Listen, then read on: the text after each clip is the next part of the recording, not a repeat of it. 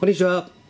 えっと、またまたあの、グーニューの飲み物動画レポートです。えー、前回はあパイン味だったんですけれども、こちらはあの、まあ、ご覧のようにいちご味ということですね。えー、書いてないか。で、同様に乳酸菌飲料ということで、えー、こちらの方に書いてますかね。あ、書いてますね。えー、原材料名糖類。あとはりんごいちごナタデココ。という形ですね。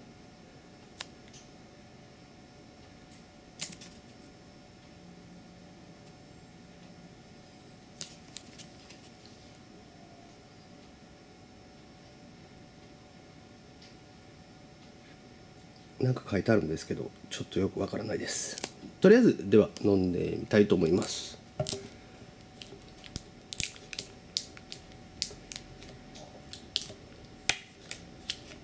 パインパイン味の方はそうですねちょっと酸っぱいような感じが強かったんですけれどもおそらくそのいわゆるいちご味ならちょっとまろやかな感じにはなるのではないでしょうか。でやっぱりそうですねナタデココの方はあの細かく刻まれている状況ということであんまり目で確認することができないんですがこの辺とかポツンポツンポツンとちょっと入ってるのがあ目視で、えー、確認することができます。それではちょっと、えー、飲んでみたいと思います。はい。えっともうちょっとイメージ的にそうですねまろやかかなと思ったんですがちょっとやっぱり酸味がきついですねあの平均的に。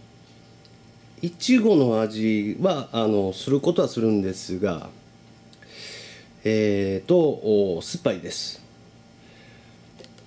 でそうですねナタデココのそうですね食感というか喉越しが、え、すごくいいんですけれどもうちょっとまろやかでもいいのではないでしょうか。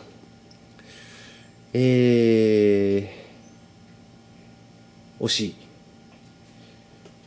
美味しいのは美味しいんですけれどもちょっと酸味が苦手という方にはちょっとあれかもしれないですね。飲みづらいのかもしれないと思います。そうですね。特に子供さんとかはちょっと酸っぱすぎるような感じではないでしょうか。それではあ簡単なんですが失礼させていただきます。